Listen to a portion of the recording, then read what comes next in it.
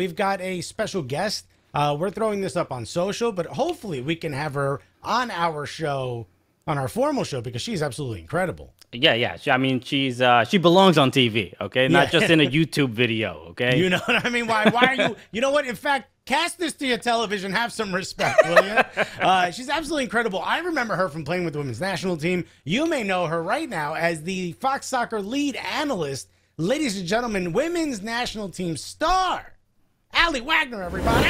Oh, Thank you, Aly Wagner. Thank you so much uh, for joining us. Ob- Obviously, we have a lot to uh, discuss uh, about the SheBelieves Cup. You are calling these matches, uh, doing uh, an incredible job. We, we've already seen uh, two matches. The final match against for the U.S. Women's National Team is, is happening against Argentina on Wednesday, Wednesday night at 7 p.m. Let's talk about the U.S. Women's National Team and how they've been so far, how they've been performing because they the, the matches, definitely from my perspective, have been, I think, a, a bit tougher than uh, uh, you know uh, than I expected.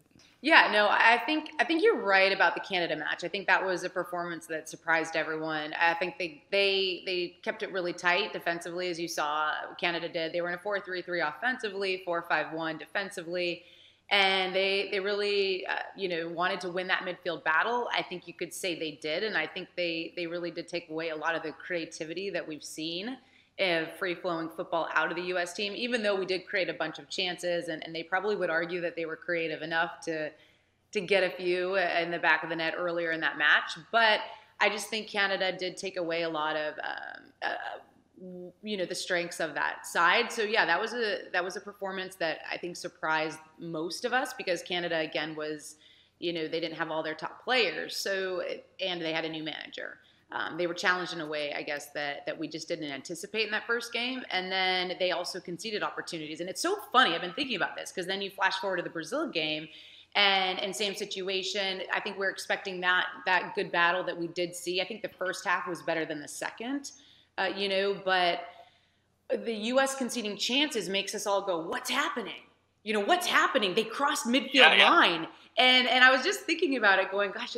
I mean, what a bar we've set, you know, what a bar this team has set for themselves that we actually judge those performances by conceding opportunities as wow, this is this is something to be concerned about, you know, and and you look at almost any other matchup in the world, men's, women's football, that that's going to occur. You're going to give away chances. We're just not used to seeing it with the US team, you know, especially outside of a world event. We were talking about this on on our show, and when when we were kind of recapping the games and saying like a listener could has every right to to, to scream at her back line and say like this is not what I'm here to do. I'm not here to stop I'm shots. to relax for 90 minutes. Yeah, I mean, when she goes to the office, it's a training. It's not game time, you know. what do you think this says for Vlatko? Because right now everyone's saying like, "Oh, I don't know, it's shaky." Why? Because we're not winning by four goals every match on average. like, what does that say? Is, is the rest of the world catching up to us? Is this new? Te- is this new tactics maybe that the team isn't familiar with, or is it just the back line isn't as solid as it used to be? Look, I, I think they don't have to be mutually exclusive. Yeah, the, the, the common theme is always going to be the rest of the world is catching up, and we know that to be true, you know. But I think the other thread is, yeah, they're still, you know, fresh off of a year of pandemic, not being able to train under a new manager, and you know he's new. They haven't, he haven't, he has not had them in difficult matches. You know, to speak really, it's been Netherlands, Canada, and now Brazil. I would say under his tenure.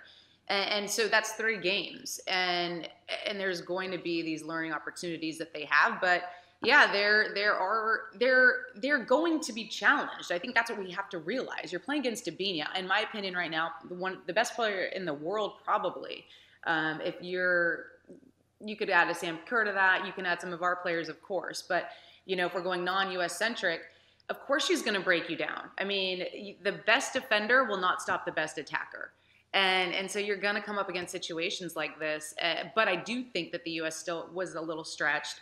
I do think that they got caught not taking uh, advantage of the tempo of the game or controlling the tempo of the game, and and yeah, it's stuff that that the team will have to rectify. They're going to have to correct it because that wasn't even Brazil's strongest lineup, and it, and it wasn't ours to be fair either.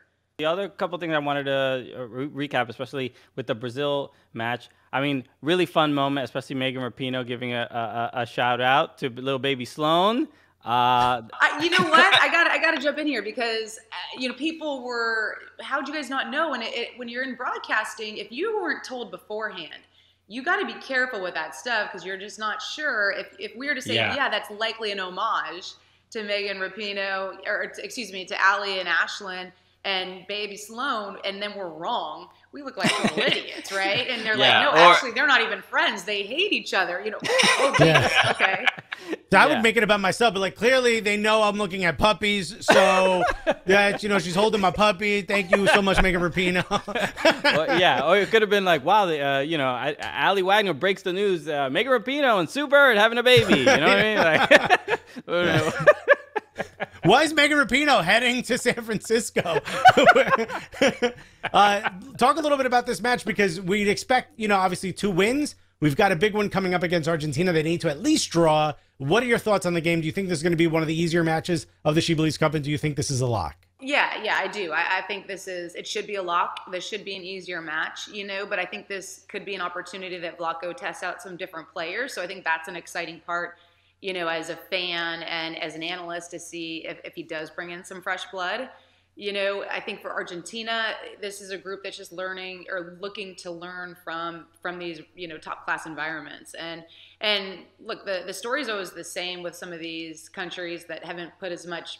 Uh, resources and emphasis on the women's side it's it matters you know and, and look at the disparity that that likely you know will occur when argentina steps out there against the us and in funding and resources and, and they're they have talented players. So those players deserve to have i think the kind of environment that our us players have. So i hope that when they get out there and they get to experience the environment you know people in the federation at the afa are looking at it and going all right we really need to step it up and, and take care of these ladies Yeah, we've always Sure. said uh, on the show like that the U.S. Women's National Team, regardless of who they face, they respect them enough to absolutely demolish them to to make a point. So they don't respect you, Canada. okay, catch. Uh, if we learned anything from this tournament, that was it, right? Catch uh, Aly Wagner uh, on the call uh, on FS1 uh, on Wednesday, 7 p.m. Eastern time. Uh, you know, we're hoping uh, the U.S. Women's National Team uh, take the trophy uh, uh, and win another SheBelieves Cup, uh, but it, it'll definitely be uh, wildly entertaining. So, Aly Wagner, thank you so much uh, for joining us today. Yeah. Cheers. Thanks for having me, guys. Put me on TV next.